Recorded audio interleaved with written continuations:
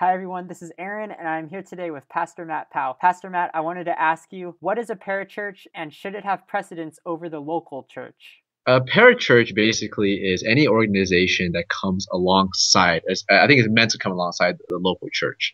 Hence the, the name parachurch. Para from the Greek actually to come alongside with. Hence like parables comes alongside, an illustration that comes alongside a main truth. So a parachurch is meant to come alongside and to help support the local church.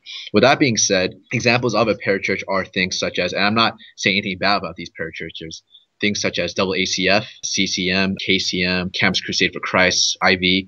All those things are considered parachurches because they're meant to support and come alongside the local church.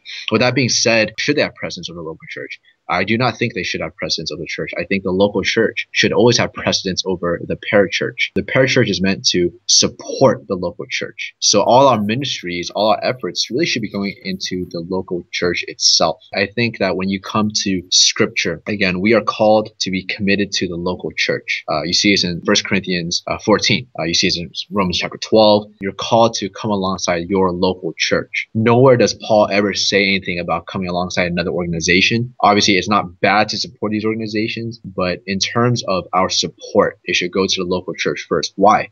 Because the local church is given the mandate to preach the gospel. Christ's gospel advances through the local church. It advances through the preaching that's done in the, in the local church. People are edified through the local church. People are equipped through the local church. And not only that, the local church is where God primarily is worshiped. Now, again, that's not to say that if you go to a parachurch that you're not worshiping God. That's not that's not the case at all. But I think God, in His sovereignty, has ordained that the local church be the driving vehicle behind all these things. And so, because of that, we want to pour in our resources to the local churches, through the local church in which God's mission will advance. That's my answer to the parachurch and local church.